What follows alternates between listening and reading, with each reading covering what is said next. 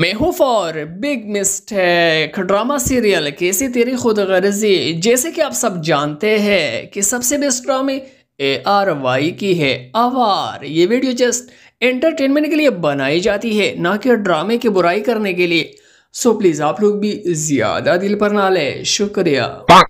ठोसने के लिए शमशीर पराठा तोड़ने लगता है तो इस कप का यह हैंडल इस साइड पर नज़र आता है लेकिन उसी दौरान कैमरा दूर से दिखाता है तो कप का हैंडल यू अपने आप मुड़ जाता है। शमशीर को दरवाज़ा खोलने के लिए जाते वक्त ये कप टेबल के इस जगह पर पड़ा हुआ नज़र आता है लेकिन जैसे दरवाज़ा खोलकर वापस अंदर आते हैं तो कप यहाँ से खुद चलकर यहाँ आ जाता है।